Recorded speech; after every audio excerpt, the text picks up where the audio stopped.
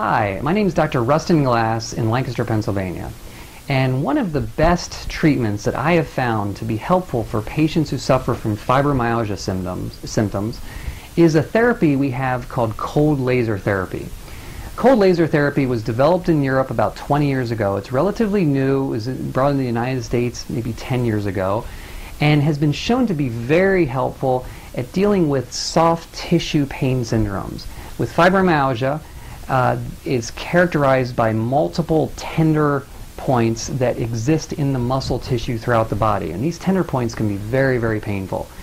We have found laser therapy on those points to be a very safe and very effective way at releasing the tightness and, and tender points and helping to give great relief to patients with fibromyalgia. So if you suffer from the symptoms of fibromyalgia, give our office a call. We'd like to help you out.